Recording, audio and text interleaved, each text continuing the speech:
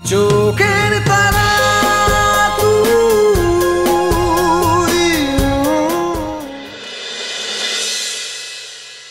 প্রসাদ। কি? পুজোর প্রসাদ। এত বড় সাহস? ফিয়ান্সের নামে পুজো দেওয়া হয়েছে আবার সেই প্রসাদ আমাকে দেওয়া হচ্ছে।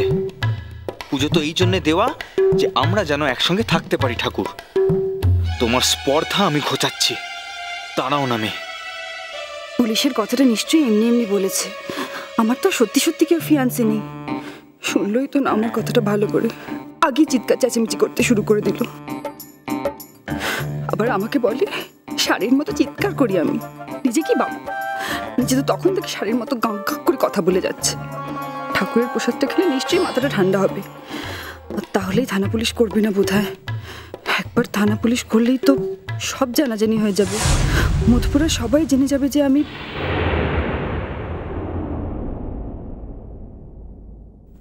পুজোর প্রসাদ সবাইকে খেতে হয়।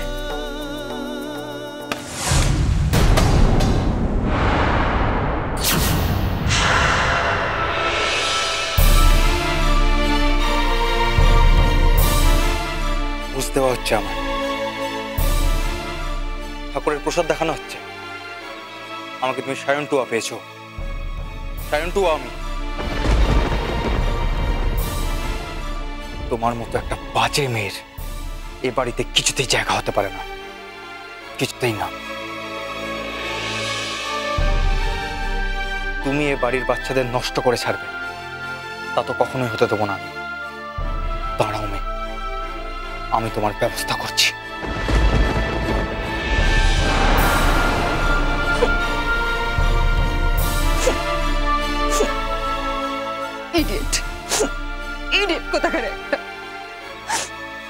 জন্য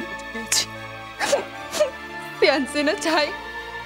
সত্যি যদি বলতে কার পুজো দিয়েছি, তাহলে দেখতাম কি বল।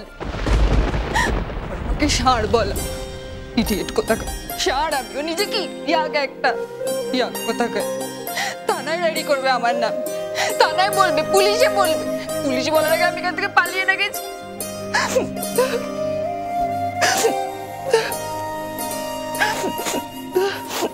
তুতুল দিদি?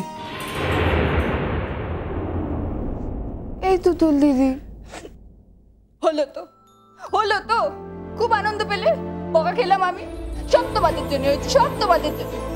বকা খাইয়ে খুব আনন্দ পাও তোমরা। যদিও এখন আমি সত্যি সত্যি পুলিশে দেয় কি করব আমি? কি করব? চলে যাব আমি। অনেক দূরে চলে কেউ আমায় খুঁজে পাবে না। শোনো তুতুল দিদি দাদাভাই মুখে যতটা রাগ দেখায় না মনে মনে কিন্তু ততটা রাগি না। হ্যাঁ আর তাছাড়া দাদা ভাইয়ের রাগ বেশিক্ষণ থাকে না। একটু পরেই দেখবে সব ভুলে গেছে। তুমি ভয় পেও না। সব ভুলে গেছে। ওকে না? আমার এতদিনে এইটুকু চেনা হয়ে গেছে। কিচ্ছু বলে নাও আমাকে এতটুকু কাটাতে পারলে ও আর কিচ্ছু চায় না গো। আচ্ছা তুমি যখন দেখছিলে রেগেছিল তখন কেন বেকার প্রসাদ দিতে গেছিলে? তাই না তাই? ওকে কেন আমি প্রসাদ দিতে গেছিলাম? সে আমি নিজেই জানি। ও তুতুল দিদি দাঁড়াও না। তুতুল দিদি প্লিজ আর একটু দাঁড়িয়ে যাও। হ্যাঁ গো আর একটু দাঁড়িয়ে যাই তোমরা ও এসে আমার পিন্ডি চটকা তুতুল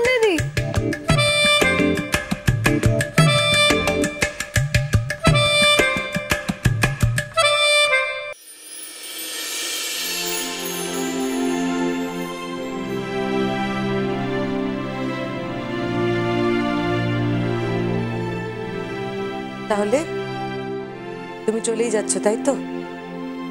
আর মধুপুরাতেই যাচ্ছ?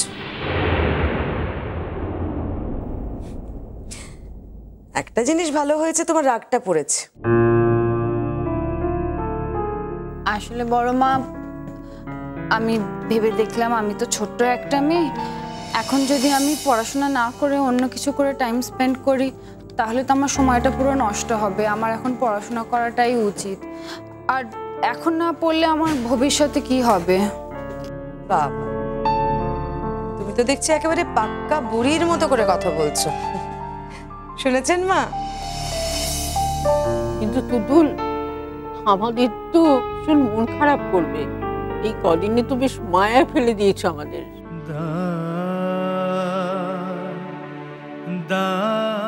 আমি একটা কথা বলছি দুদু একদিন যখন বড় হবে লেখাপড়া শেষ করে যখন কলকাতায় আসবে তখন আমাদের এখানে এসো কিন্তু। কি? মনে থাকবে তোর তুতুল? হ্যাঁ মাম্মা মনে থাকবে।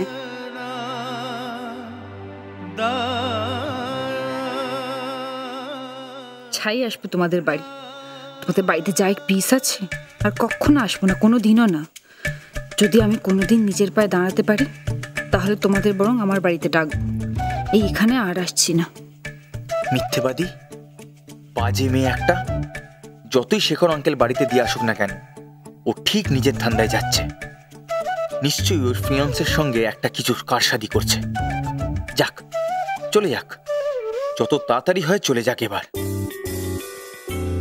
এখন তো খুব বড় বড় কথা বলা হচ্ছে। কিন্তু সত্যি যখন তুমি মধুপুরায় চলে যাবে তখন আমাদের কথা আর মনে পড়বে।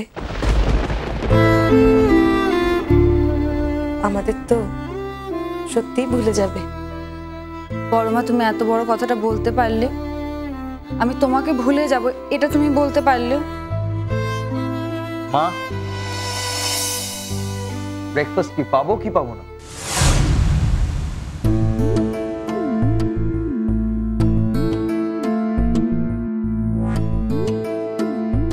তো তুলে দিদি। তোমার যখন বিয়ে হবে, তখন কিন্তু আমাদের সবাইকে নিমন্ত্রণ করতে ভুলে যেও না।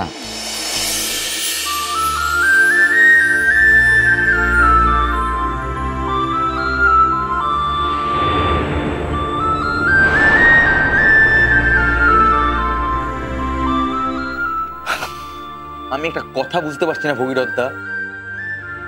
যদি গল্প করবে সকাল থেকে উঠে, তাহলে ব্রেকফাস্টে সার্ভ করবে কে?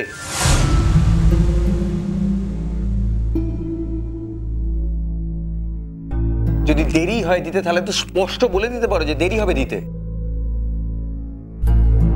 আমি বাইরে থেকে অর্ডার করে দিতাম। আমার তো সময়ের একটা দাম আছে নাকি?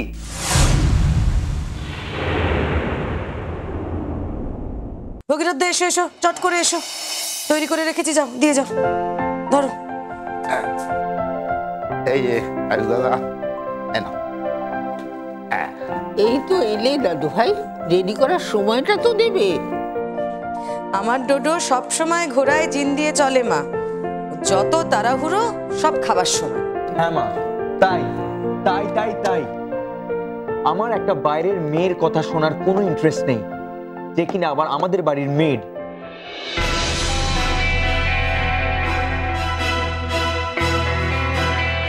এই বাড়িতে তো আরও অনেক কাজের লোক এসেছে গেছে। তোমরা কি তাদের হাতে প্যাম্পার করেছ নাকি? এর পেছনে পড়েছো যে এইভাবে যদি জানতে কি জিনিস তাহলে আর তুমি কি জানো দাদু ভাই? তুমি তো এর আগে ওকে চিনতেই না। তাহলে এর মধ্যে এমন কি জেনে গেলে যা আর কেউ জানে না? জানি মাম্মা কারণ আমাদের বাড়িতে সে আছে তো।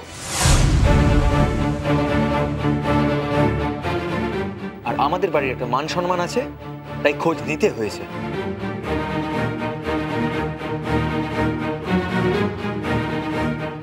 চোখখান খোলা থাকলে তোমরাও জানতে পারতে। থরিও আমার প্রিয় হওয়ার জন্য এসেছিল। সব খালি বাহানা। তোমরা সোজা সরল মানুষ বলে তোমাদের সিম্পলি টুপি পরিয়েছে। আর এখন যখন সব কীর্তি ফাঁস হয়ে গেছে, তখন পালাতে চাইছে। না পালিয়ে যাবেটাই বা কোথায়? ওর কি কীর্তি ফাঁস হয়ে গেছে ডোডো? শুনি। বলো। আমাকে কেন জিজ্ঞেস করছ?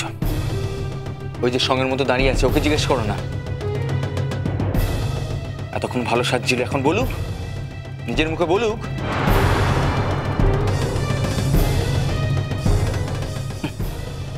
সেই সৎসাহস তো নেই।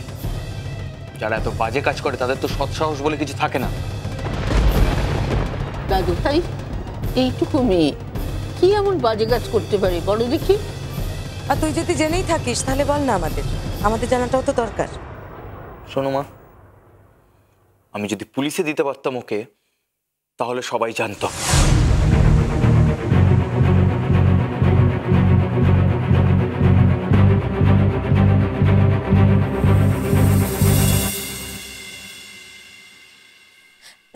একবার বলো জাস্ট একবার বলো, আমি এখনই ওকে টাইট করে দিতে পারি।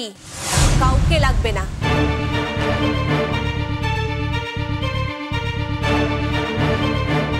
শুধু লোকাল থানায় একটা ফোন করব, আর চুরির কেসে ওকে ফাঁসিয়ে দেব।